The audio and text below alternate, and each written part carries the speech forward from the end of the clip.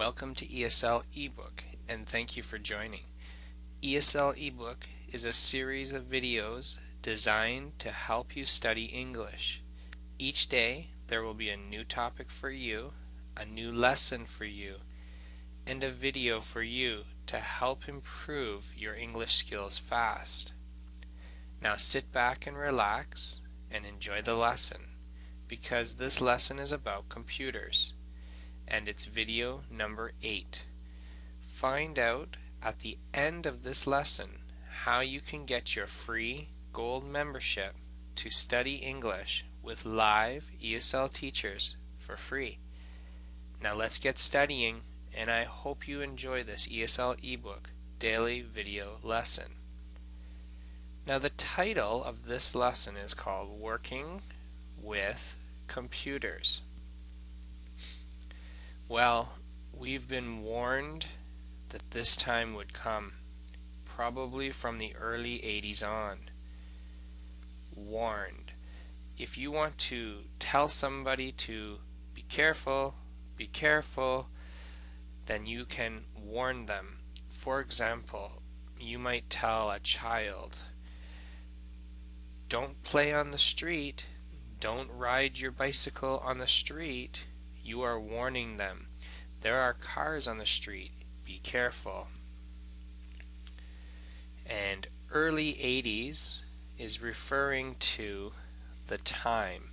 So the 80s means 1980 and earlier earlier means probably 1980, 1981, 82 and 83, maybe 84.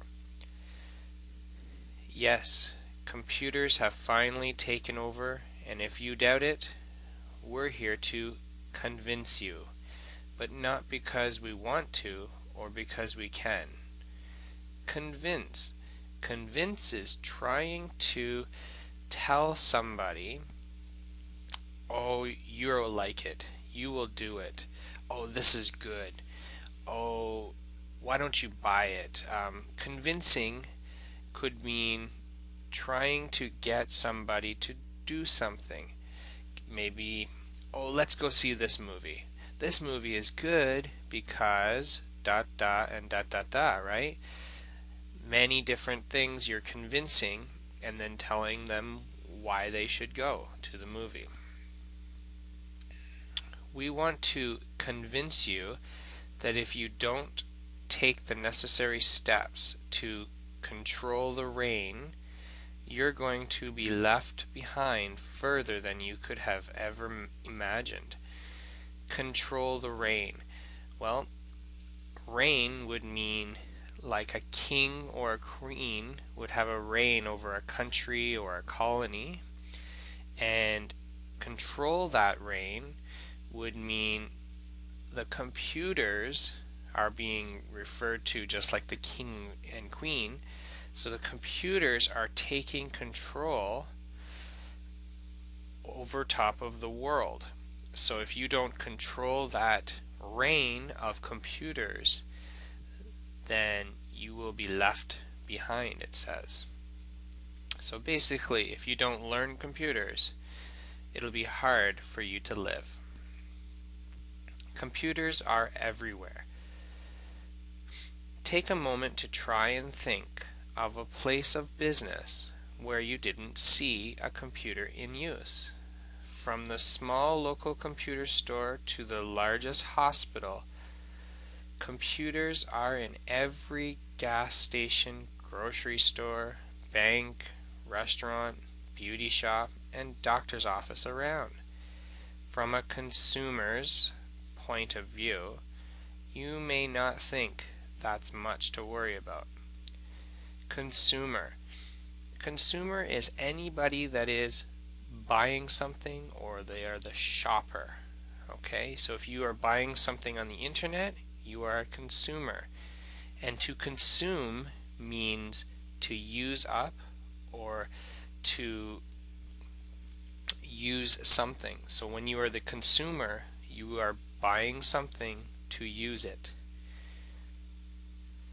But along with computers, we've also been infiltrated with a little thing called self-service. So infiltrated would mean it's coming in and gradually coming in and gradually coming in and eventually it's going to be everywhere where you will see it and in this case they're talking about self-service. So infiltration would mean slowly overtaking something and coming in and it's changing. Today there are more self-serviced resources than ever. And in an effort to sync synchronize them with the headquarter databases, they're provided via your inescapable computer. Synchronize would mean to have the same or the same information. Uh, an example would mean in the Olympics, uh, which are coming up in, in Vancouver actually in 2010, uh, in the Olympics, when you see the swimmers, you might see five or six swimmers, not the racing swimmers, but the swimmers that are in the water and they're like dancing to the music, but they are all synchronized, all doing the same thing. They all come out of the water at the same time, and they all go under the water at the same time. Here are some examples. Banking is self-serviced through the desktop cloud ATM machine. Self-serviced. Self-service means you do it all by yourself with no help from a company. It's all by yourself. And these are good examples. You will know what I mean. In North America, we have gas stations are self-serviced through a menu-clad touchscreen kiosk. So the the gas stations, you can go and put your credit card in and then press some buttons and then fill your tank up with gas and then drive away.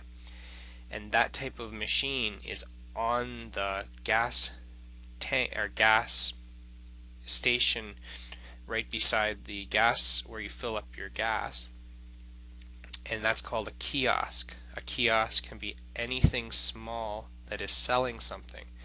So in this case, they're selling gas. Most cash registers are Windows XP or Vista machines that send purchase details back to headquarters via the internet or a small intranet. We're going to predict that all paper paper-based transactions, checks, money orders, etc., and documentation, think of the old filing cabinet system, will disappear. So predict predict is like telling the future or guessing sometimes. In this case, they're guessing and telling the future.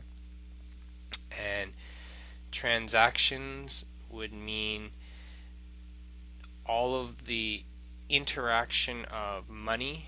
So if you buy something and you sell something, that is an inter interaction or a transaction. And we've got the, the examples being checks or money orders. A money order is is something you can go to a bank and buy and then give that piece of paper and that's money. We're going to predict that chips will replace everything that was once transported from one location to another through the trusty post office. Well, there you have it working com with computers is very important. So you should learn how to use your computer. If you would like to study English more and study English with real ESL teachers, then go to www.study-english-now.com and here you can get your free gold membership to study with real ESL teachers and have real ESL lessons. I'll thank you for joining and I hope you enjoyed this lesson and until next time I'm Steve your ESL teacher. Goodbye.